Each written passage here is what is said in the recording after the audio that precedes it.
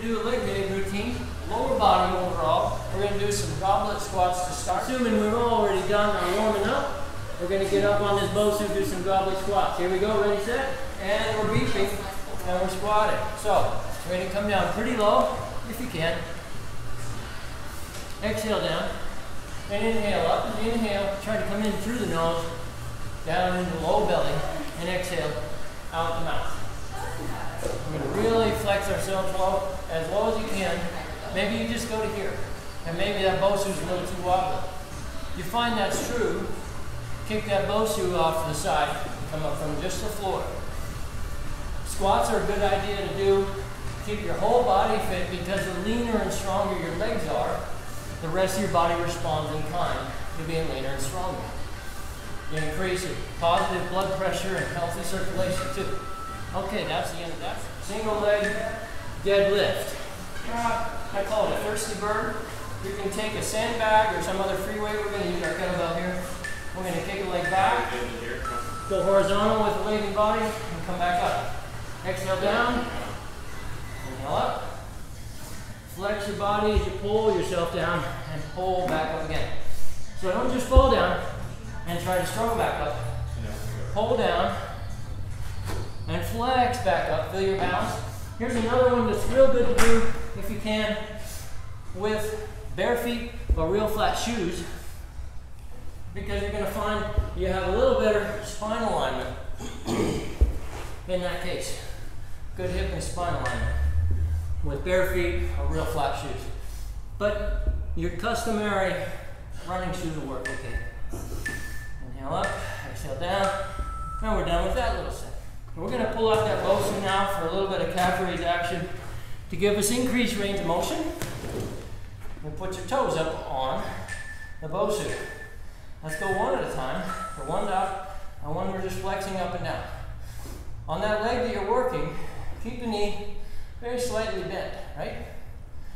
Keep the chest tall, and breathe, breathe, breathe. We're about to switch legs here we're going to switch legs halfway through this set. And there's the switch. Pull it up, pull yourself up, and drop down slow with control. Yeah. This will challenge the balance. The more you challenge the stability of your body, within reason, the more neurocommunication occurs, and typically the more fat loss. If you always do only what you're good at, very little chance of progressing, getting stronger, getting leaner. Moving right along. We're going back to that cross behind lunge. Clear your workspace. Grab up your weight. Get a deep breath, get your mind right. Clear that mental chatter and go. Don't worry about the next rep or the next 20. Keep your mind right here, right now. The breath you're breathing, the rep you're on. And just wait for that beat. Just patiently wait and push through. Feel your body, feel your breath, stay present, and you're going to go a lot farther in your workout, and your body will respond much better to your exercise efforts every time. But like everything else, you have to practice it. Don't expect magical results the very first time you ever try it. You have to stay with it four, three, two, there we go. Okay, standing leg raises. I'm going to show a couple variations.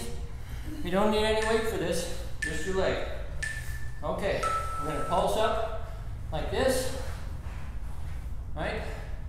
And you touch out in the hand, or you can swing up and add the progression to it. If this is too easy for you, okay, good deal add an ankle weight. And that's going to progress you real fast. Switch legs, switch through. What we did there, we just switched sides halfway through one set. If that's too easy, progress it by going a full set for each leg. Full 45 seconds or more, each leg. And you'll be sure to get plenty of work out of that. Keeping your lower abs strong here, and your iliopsoas, your tiger lower abs, the top of your leg. Okay? Good. What's next? Wall sit. Wall sit, you're going to need a wall. Or you can do it sitting and squatting right down in a horse stance in the floor. I recommend doing this with, with some weight. Make things a little bit tougher for you. And you just stay right in here and you camp out and get comfortable. Your mind's going to mess with you after a little bit and say, stand up, this hurts, I want to stop. And I don't listen to that. It's not the boss of you. You push through those kind of signals by breathing deep, focus your mind, feel the presence inside your body, feel your breath, and push past those little signals and those little voices. Every time those distractions and mind chatter comes up, not just working out, but everywhere, every day. Breathe in, feel your breath, hear your breath, feel the inside of your body, and pay attention to that instead. It'll get you a lot farther. Rest. We're going to do a hip bridge now. There's a couple ways we might do this, but you do want to grab a little bit of equipment here. Something, some kind of a cushion under your shoulders, perhaps. Some kind of weight to put across your hips. And in this case, I'm going to use the Bosu to put my hips up. Here we go. I'm going to step up on this Bosu and push up and come down. So rotate my angle. So having something to put your feet up on or something to put your back up on increases your angle of approach and that's going to increase the workload and the result, the training effect will be much better if you're up a little bit. But you don't have to. You can progress it from the floor and you can go no weight or very little weight and still get some effect. I'm pushing way up, exhaling down, inhaling up, and flexing from the glutes, pushing in the heels. I'm already done. We go. Good.